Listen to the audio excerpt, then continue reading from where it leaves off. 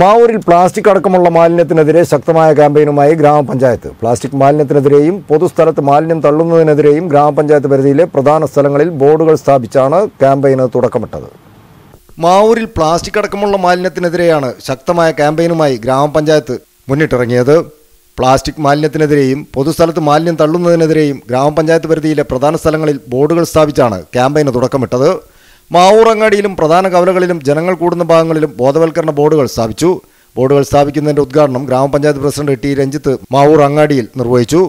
Vice president Jayashree Divyaprakash സ്ഥിരം സമിതി അധ്യക്ഷന്മാരായ K M Appukunhan T T Abdul Khader ഗ്രാമപഞ്ചായത്ത് അംഗങ്ങളായ പുലപ്പാടി ഉമ്മർ മാസ്റ്റർ ഗീതാമണി ഫാത്തിമ ഉണിക്കൂർ തുടങ്ങിയവർ സംബന്ധിച്ചു. കൂടാതെ ജൈവ മാലിന്യ സംസ്കരണത്തിന് വേണ്ടി റിംഗ് കമ്പോസ്റ്റുകളും വിതരണം ചെയ്തു.